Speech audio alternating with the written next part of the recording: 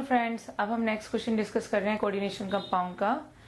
अब इस क्वेश्चन में हमें क्या दिया हुआ है? हमें करना है explain with two example each of the following हमें ये डेफिनेशंस करनी है विद एग्जांपल्स हमें याद करना है। अब ये याद रखो कोऑर्डिनेशन कंपाउंड्स में आप रैंडम एग्जांपल नहीं ले सकते हो, जैसे कि आप ऑर्गेनिक में ले लेते हो कि हाँ भी कार्बन की चेन इधर उधर से बड़ी कर दी, कहीं पे भी आपने सब्सिट्यूएंट्स लगा दिए।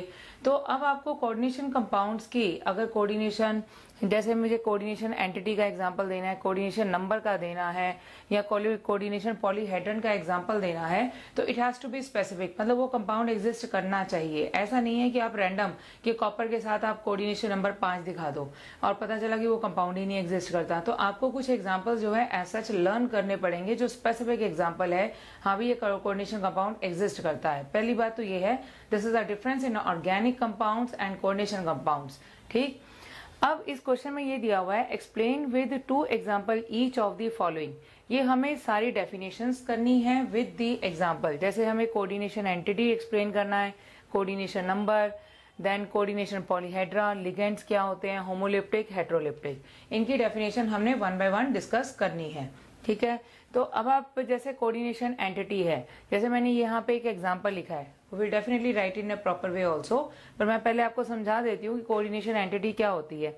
जैसे ये कंपाउंड है, ये कॉम्प्लेक्स है स्क्वेयर ब्रैकेट तो इस कॉम्प्लेक्स को जिसमें कि सेंट्रल एटम होता है और लिगेंड्स होते हैं, इसे कोऑर्डिनेशन एंटिटी कहते हैं। ठीक है ये चीज़? वहीं पर कोऑर्डिनेशन नंबर किसे कहते हैं? कोऑर्डिनेशन नंबर होता है number of electron pair gained by the central metal ion is known as the coordination number central metal ion जितने number of electron pair gain करता है, उसे कोऑर्डिनेशन नंबर कहते हैं। बात को समझो। मैंने ये नहीं कहा कि जितने नंबर ऑफ़ लिगेंड्स होते हैं। उसकी वजह क्या है? लिगेंड यूनिडेंटेट भी हो सकता है बाइडेंटेट भी हो सकता है। एक लिगेंड दो इलेक्ट्रॉन पेयर भी दे सकता है। ठीक है? तो कोऑर्डिनेशन नंबर वो होता है जिसमें जितने number of electron pair central atom gain करे, ठीक है? अगर एक लिगेंड दो देता है, दो इलेक्ट्रॉन पेयर दे रहा है, और सेंट्रल एटम के साथ तीन लिगेंड लगे हुए हैं ऐसे तो कोऑर्डिनेशन नंबर क्या हो जाएगा? सिक्स हो जाएगा। तो कोऑर्डिनेशन नंबर होता है जितने number of electron pair gained by the central atom ion है एटम या आयन है, उसे कोऑर्डिनेशन नंबर कहते हैं। ठीक है ये चीज़?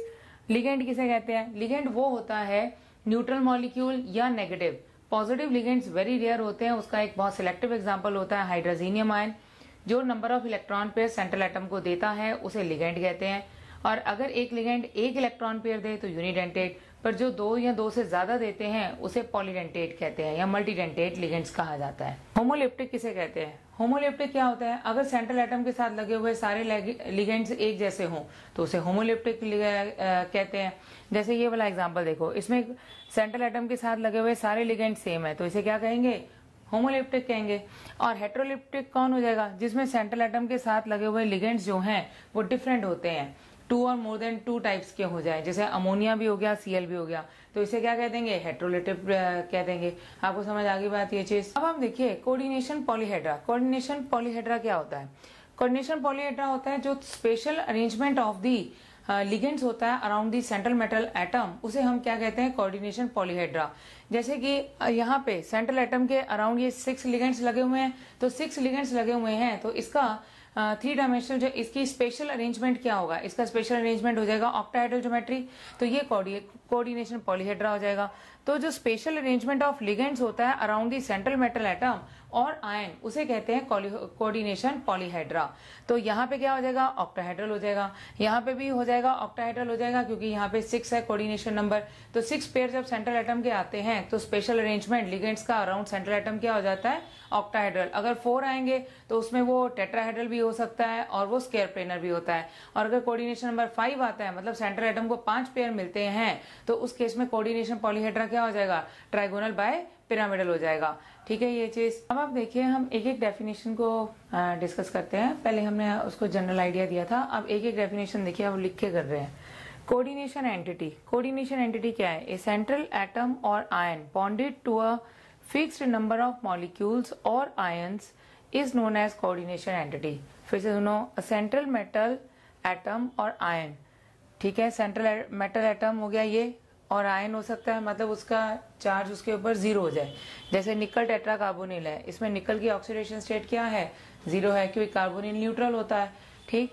तो सेंट्रल मेटल एटम और ion bonded to fixed number of molecules और आयन्स जो ये फिक्स नंबर ऑफ़ मॉलिक्यूल्स और आयन से बॉन्डेड होता है, जिसे लिगेंड्स कहते हैं, इस कॉम्प्लेक्स को क्या कहते हैं? कोऑर्डिनेशन एंटिटी तो कोऑर्डिनेशन एंटिटी में बेसिकली दो चीज़ें होती हैं. एक सेंट्रल मेटल एटम होता है और एक क्या होते हैं? लिगेंड्स ठीक है ये चीज़? तो इसे क्या कहा जाता है? कोऑर्डिनेशन एंटिटी इसके दो एग्ज़ाम्पल कौन हो गए?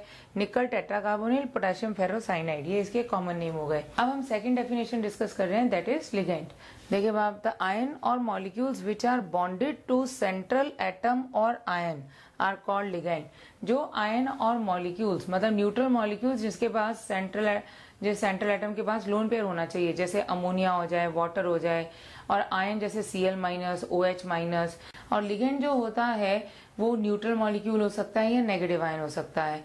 न्यूट्रल मॉलिक्यूल में सेंट्रल एटम का ऑक्टेट कंप्लीट होता है और साथ में उसके पास क्या होता है? लोन पेयर होता है फॉर शेयरिंग तो इसमें और कोवलेंट बॉन्ड में अंतर ये होता है कि दोनों इलेक्ट्रॉन देने वाला लिगेंड होता है, ठीक है? और सेंट्रल एटम क्या प्रोवाइड करता है? Central atom vacant orbital provide करता है, जिससे कि लिगेंड के साथ वो बॉन्ड बना सके, ठीक है? तो इसमें कोऑर्डिनेट कोवलेंट बॉन्ड बनता है, क्योंकि दोनों इलेक्ट्रॉन देने वाला कौन होता है? लिगेंड होता है। दोनों इलेक्ट्रॉन देने वाला लिगेंड होता है। तो इन्हें लिगेंड्स कहते हैं। अब लिगेंड्स की डिफरेंट टाइप है। लिगेंड अगर एक लोन पेयर देता है तो उसे यूनिडेंटेट कहते हैं। दो इलेक्ट्रॉन पेयर देता है तो बाइडेंटेट अब उसने लिखा हुआ है कि इसको दो एग्ज़ाम्पल के साथ। फिर से आप यही दो एग्ज़ाम्पल ले लो। इसमें निकल टेट्रा कार्बोनिल हो गया और के फोर एफ़ सिक्स अब इसमें कार्बोनिल लिगेंड हो गया और इसमें साइनल लिगेंड हो गया। ठीक है तो दो एग्ज़ाम्पल आपके ये हो गए। और ये दोनों ही जो है ये आपके क्या कौन से एग्ज़ाम्पल हैं? यूनिडेंटेट क्योंकि कार्बोनिल भी एक लोन पेयर देता है और साइनाइड भी क्या देता है? एक लोन पेयर देता है। अब आपको समझ आ गई ये चीज़।